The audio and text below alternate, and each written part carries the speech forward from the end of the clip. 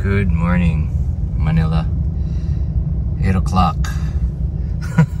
I'm on, I'm in uh, Pasig area sa may Valle. Tapos I'm going to BGC. 10 kilometers, almost an hour. Rush hour. Though I had a good sleep, uh, woke up on the right side of the bed. uh, yesterday was a bit stressful kasi yun nga na-hack yung aming kuya account. And we were able to recover it. Wag ko na ikwento kung paano. Basta we were able to recover it. And uh, si Camille nga nagka-anxiety. And sabi ko babe choose your battles. You know diba yung, yung sinasabi nila na you can control how you react to things but you cannot control the weather, you cannot control uh, the traffic, but you can control how you. I guess you could control your perspective. And first of all, I think reaction muna. Or ano ba? Ano ba mauna? Perspective. Oh, perspective. Tapos, kasi kung you're, if you're in the right mindset or, you know, um, vibe or thinking or you know whatever then you can control how you react to things how you interpret certain scenarios. I am a bit late to our shoot. We are yeah we have a shoot and hindi siya kaya medyo naka chef outfit tayo ngayon or chef gear. Um sorry, hindi ako makapag-isip ng diretso kasi alam mo yung pag gutom ka, hindi ka makapag-isip. Ngayon, I'm stuck in traffic and medyo gutom ako and medyo, alam mo yung painip ka na. I'm sure sa mga lahat na nakatira sa Manila or sa mga lugar dito sa atin na medyo traffic, I'm sure yun, 'di ba? Yung traffic ay nakakaubos. Start ka pa lang ng araw mo medyo inuubos ka na ng konti. Tapos, at the end of the day, pipigain ka talaga. ah! Kaya nga, anyway, pero yun yun eh. It is what it is. Just like, you know, what happened to us last night. Sabi ko kay Camille, babe, it is what it is. Let's just roll with the punches, deal with it, uh, settle it, fix it, and call it a day. Anyway, yeah, I've heard your comments about how shaky my uh, videos are and noted. Uh, I do read your comments and uh, thank you Uncle Winston for telling me kasi nahihilo daw siya. Um, it's just that I don't know, every time I move the camera I talk and hindi ko na-edit ng maayos. But anyways, I'm gonna try to be as smooth as possible. Uh, okay. Mamaya ako na ikwento yung shoot namin kasi it's an interesting uh, I'm excited for this shoot actually. Not because it's a shoot with a brand, but it's it's a shoot with um, the people I'm with. All right, touchdown to our shoot destination, and yeah, I did bring my Snow Peak chair and a fan. I know, wala lang. Gusto ko lang maging relax and comfortable. Ito na yung aming little corner. Nagdala ako ng camp chair para yun, pag nakaupo kasi sa camp chair, di ba? Feel na feel nyo na nasa labas pa rin kayo or nasa camp kayo. Basically, nakakakalma siya. So anyway, excited excited ako for today's shoot is because sabi ko, di ba, sa inyo yung mga kasama ko. So yung mga kasama ko ay, ay eto, mga kusinero ko. Si Allen, aka Master. Ilang years na sa kuya? 13 Ah, sa, years. sa Sarsa, 13 years? 13 years pa. Teka lang, yung Sarsa ba? 14 na. Hindi nga. Hmm. 14 years na. Kala ko 10 pa 14 lang. years. Ang Bilis. Shit. Nag-start ka sa BGC. BGC. Tapos MOA inopen namin. Oo. Tapos saan ka nalipat? Balikuli ng BGC. Yung Ah. ginawa ko ni Chef Mark yun. Oo, oo, oo. Then si Chef Jeric, dati manager. Manager. Tama ba? Manager, supervisor. Supervisor. Front of the house. Opo. Tapos, bakit ka naging kusinero? Wala na. Gusto ko na ulit kusinero. Ha? Gusto ko na ulit lumipat ng kitchen. Kahit mainit? Yes. Masarap. Bakit? Ramdam mo yung ano, eh, kusinero eh. May ginagawa kang Yes. from scratch, kumbaga. Yes, yes. So, Lahat. iba yung feeling niya sa... Ano to? Front. Sa pagserbi. Iba yung feeling niya sa front of the house. Yes, iba. Ah. So, basically, si Chef Jeric, ilang years na? 13 years na sa Sarso. 13 years. Tapos, ilang years sa kusina? Um, Nag-start? seven. Seven. Nag-start ka sa UP, UP Town. Town. Yung, hindi, ano, um, opo, kita mo. Oh, start siya lowest rank sa kusina. Yes. From supervisor, nag-start ka Comi 3. Committee. Comi 3. Mhm. Si Master naman, Al Alan, aka Master. Bakit Master ang tawag kay Master? Master, kasi tagal na eh, tagal ng kusinero. Lahat pasok, kusinero, master. Tapos, siyempre, siya yung pinaka-head namin, siya yung pinaka-bata sa amin. Master. Diba ang init-init sa kusina? And I guess yung mga behind the scenes people, hindi masyadong, especially pag closed kitchen. Pag open kitchen, nakikita niyo yung kusinero. Pag closed kitchen, yun, I mean, makikita mo na lang yung kusinero ah, sa labas ng restaurant, nagbe-break, nagyoyosi, or nagsi-cellphone, or umiinom ng coke. Basically, I guess what I'm trying to say is that today, today it's their time to shine. Sila naman yung nasa harap ng camera. Kaya, nandito kami ngayon sa isang shoot. Hindi pa namin masabi kung ano. Pero yung eksena ay ah, basically yung gusto nila ng client, yung gusto nila kasama ko yung team ko. So, kaya astig. First time to. Kasi normally, di ba, pag, well, I guess pag nag-shoot kami, normally, ah yun, magluluto ako or magsasmile-smile ako, whatever. This time, kasama ko mag-smile. Itong dalawa. so, yan, yan. Magsha-shine ang Team Sarsa today. Okay, anyway, Master, according to age, so ikaw yung mauna. Dito ka. Nakapag-makeup ka na ba sa buong buhay mo? Hindi pa, chef. Hindi pa talaga. Hindi pa. Kahit sa kasal ng anak mo? Wala pa, wala. Wala na. Wala kasal, chef, eh. Oo, okay. Ikaw mauna. Doon ka.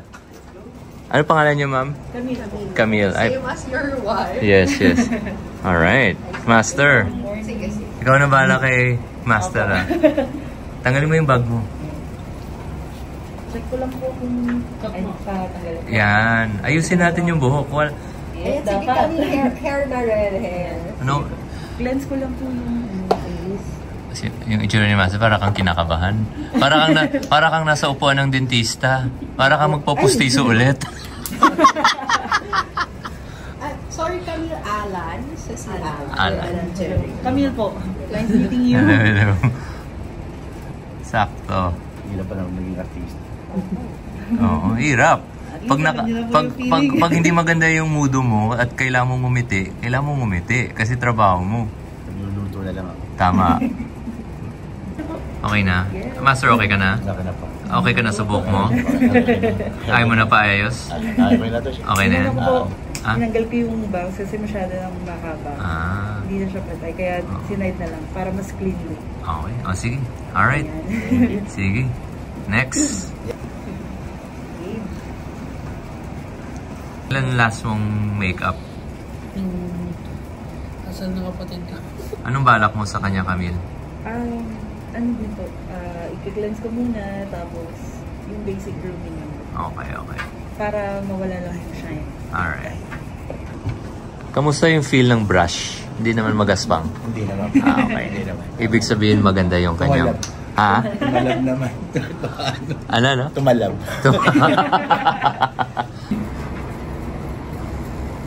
so ano, si Jeric biglang nagka-cheekbone. Ganun. Sharp po yung jaw. oh, pwede na isa lang. So, ah, Thank you. thank you po. Pwede yung sa akin, light lang talaga. Sama ka na sa. Okay, one. Thank you, Camille. Thank you. One, two, three. Thank you very much Thank for... you. Fan ako. Oh, salamat. Thank you for making us look like a million bucks. Basically the idea kasi is Ano ang ngiti ng seryosong chef? Si- seryoso na may ngiti. Okay, there. Kuya, for the vlog to. Hi. So with product? Product, kailangan ba ng Santa Ah, okay. Ready na ba kayo? Ready na po. Yan! Okay. Si Chefs ang nasa plate. Kinakabahan mo ka ba? Sobra. Eh, hindi konti, halata sobra eh.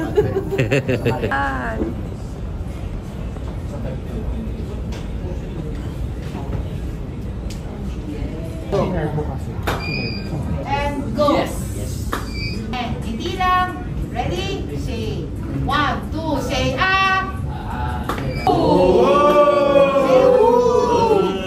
With that, is a wrap for Chef JP and workmates team. Talaga? Hey! Tapos na? Kumusta? Kumusta? Ay, masaya naman. Parang, parang na-migraine ka. No? Ang hirap po maging artista. Hirap. Hirap ta. Masanay ka na, sir. Dali lang. Masarap lang magluto. thank you, thank you. Thank you. Thank you. Alright, so um, Jeric and Alan, will ask you to sign papers to use your faces for, of course, the ayun. So, Oh, um, kailangan- hindi. Yung mukha niya, oh. Nasa... so um, we al- we also need an ID, please.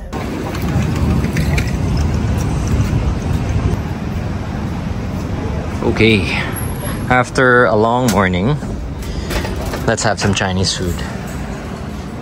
Kuya, alam ko na yung ordering ko. Isang sweet and sour pork.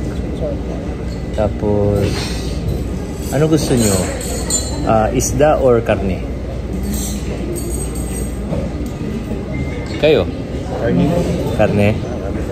Ah, beef and broccoli. Tsaka isang salted fish fried rice. With broccoli, salted fish plates. Yan. Tapos, pwede pa tusta ng salted fish fried rice. Actually, masarap yung nilagang mani dito. Ano? May star anise? Sa bracing liquid. Oo. Ano pa kaya nilagay? Sukal, soy sauce, hindi ako sure. Wala. Walang soy sauce. Lang po siya. At asukal. Broccoli. Kuya, yung rice, pwede pa serve na. Pag inamoy nyo to, maaamoy mo yung wok. Yung tinatawag nilang breath of the wok. Yung amoy niya matamis eh. No? Di ba? Yung yung wok na yung high pressure.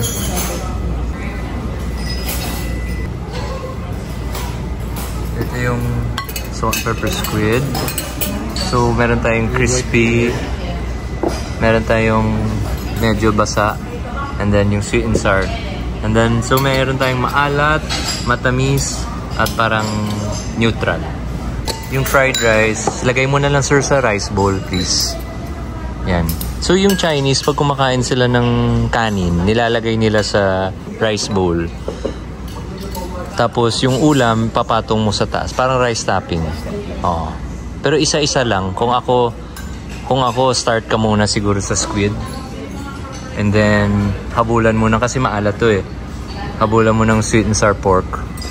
And then, well, ilas natin to. Kainin mo hiwalay feeling ko yung bro- beef and broccoli kasi masarap eh.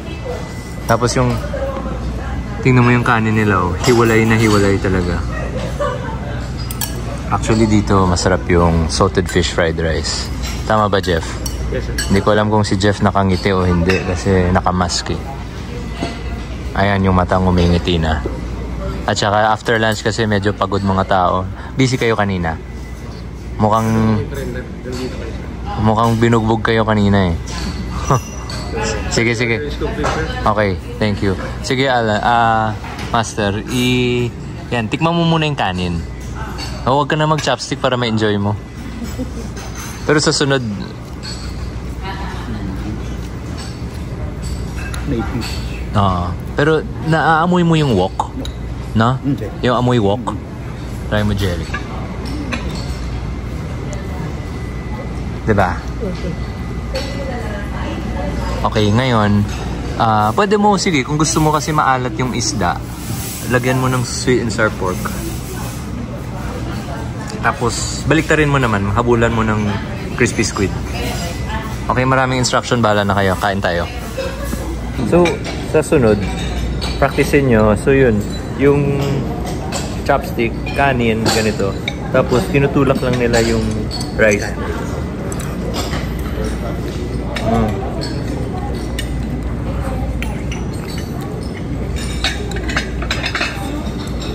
Mm.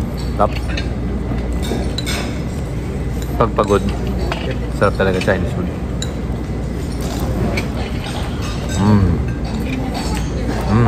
Sarap ng sweet.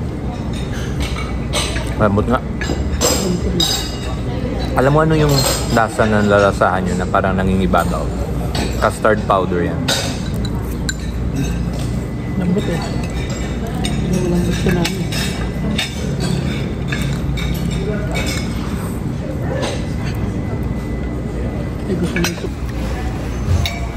Ano yan, Jeff? Sir, let's try our... Sige, paki-explain nga sa mga kusinero natin. Yung mga kusinero natin kasi mga pagod mga to eh. Kasi napagod sila eh. Huwag mo na tanungin bakit. Okay, okay. Ano yan? Our special extra sauce is meron po siyang dried scallop, then beef, then special uh, ingredients. So, and also uh, chili flakes. Chili flakes. May hibi ba? May shrimp? May dried shrimp? May dried May dried shrimp. So, yun nga, sabi ni Jeff, scallops, dried shrimp, feeling ko may onions, May onions din. may garlic, ah, at iba pa. Konti lang. So, para siyang condiment or yan, yan, yan.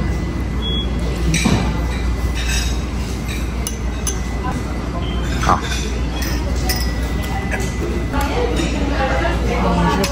Ha? Malasa, no? Sobra. Grabe yung umami ang tawag dyan. Umami. Meaning, yung linamnam, sobrang taas. Wala. Ah, dried shrimp. Oo. Yung hibi. Hibi. Tapos may dried scallops. Tapos, yun nga. Fried garlic.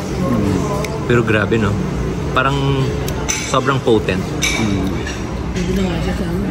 Ang price range eh. Pwede rin. Ah, pagod ano? pagod gumiti, Alan. Ah, pagod rin ako.